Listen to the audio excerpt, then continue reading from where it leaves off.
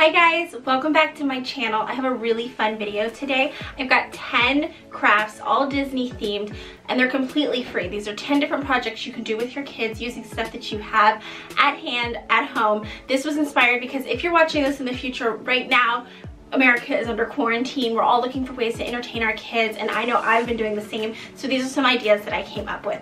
First, I'm gonna be making a tic-tac-toe game. All you're gonna need for this is a square of cardboard. Use something from an Amazon package and then you're gonna wanna paint that a color. I went with red, I'm doing Mickey colors. Once that's dried, just take a marker, a marker, a pen, whatever you have, and draw like a tic-tac-toe grid. You're then gonna cut out some like little Mickey head pieces. Do them in two different colors, so it's kind of like an X and an O. And then there you go. This is really fun. My daughter is super into tic-tac-toe right now, and she was so happy to have this Mickey version of the game. Second, we're gonna do another Mickey kind of game. We're gonna make a toss game. So you need two kind of longish pieces of cardboard. Again, you wanna cut them into the shape of like a rectangle, and then you're gonna cut out like a Mickey head from the inside of one of those pieces, and then you're gonna tape the pieces together so that you kind of get like a triangle. You want the shape of like a cornhole game, and then you're gonna paint the little construction that you made. Use whatever color you want, and then I added like some little polka dots. I put a little bow on made out of construction paper. And then there you go. Use whatever kind of balls or whatever you have to toss in.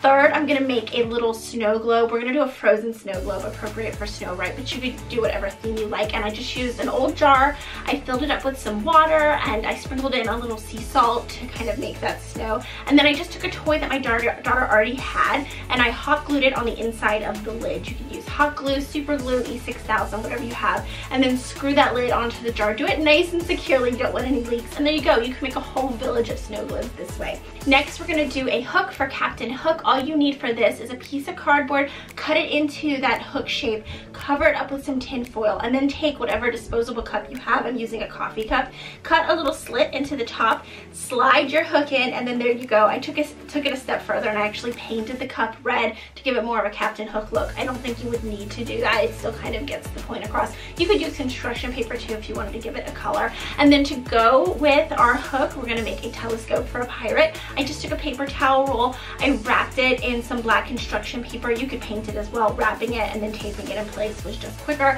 And then I took a white like chalk marker and I drew on it like a little dot dot dot dot dot pattern to like a treasure map. And then I drew an X, I drew a little skull and crossbones. You could decorate this however you want. Give your child a paper towel roll and then let them decorate it using whatever you have. You don't have to have a chalk marker. You could use any sort of pen. Really let your child just use their creativity. Next, we're going to make a hook, Maui's hook. It's another hook. This is from the movie Moana. You need to cut out a larger hook shape.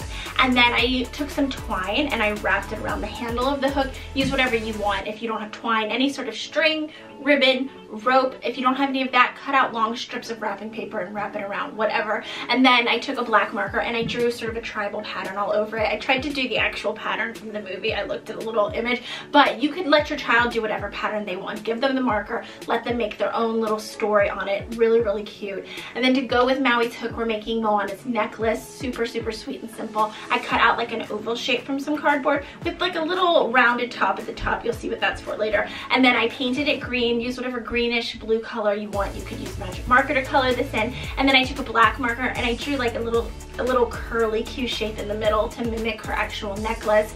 Um, then poke a hole through that little top part there so that you can string it onto some twine or ribbon or whatever to make it a necklace. You could go even farther with this, cover it with glitter, give your child some beads and let them string it on to the necklace to make it even fancier. Again, let them use their creativity and make this their own. Next, we're to make a really cute little flower pot. I took a can, like a tomato sauce can and I removed all the packaging from it and then I'm just to cover it with some craft paint. Use whatever sort of paint or coloring you have. You could use markers again for this. And then once that dried, I went over and I painted on little Mickey shapes all around. I did like a rainbow of colors. It's spring, summer. I wanted it just colorful and cheerful. Once that dried, I just took a marker and I drew a little squiggle line under each Mickey to make it balloons. I was going for a Mickey balloon theme. And then once that's dry, you've got a little pot or vase. I, I let my daughter pick some flowers and we put those in. You could get some dirt from your front yard, put it in and actually put a little planted flower. That would be really cute. A succulent would look adorable in this. We are also gonna make a Rapunzel lantern. This is really easy and really pretty and effective. Take, um, you need like a piece of purple or any color construction paper and then also a piece of wax paper, sort of the same size. You wanna cut some panels out of the construction paper, just some rectangles. I did two, so now we kind of have a frame of a lantern and then tape that wax paper to the back side of the construction paper so it peeks through and then you're gonna tape the ends together so that you've got like a cylinder shape. That's your lantern. And then I cut out a sun shape from some yellow paper, taped that on. I didn't even glue it, I just taped it right on. And then if you put a little battery operated LED light uh, underneath this, it's gonna flicker and look really pretty and look just like one of Rapunzel's lanterns. You can make a bunch of these, do a whole scene of lanterns. I think kids would absolutely love this. I think this was my daughter's favorite project we did. And then finally, my favorite project we did, we are gonna do a Beauty and the Beast stained glass window. This is so fun. I used to do this when I was a kid. You need a piece of wax paper and then take some tissue paper, go to wherever you store your gift wrap, get whatever colors you have, and then cut the tissue paper up into little pieces.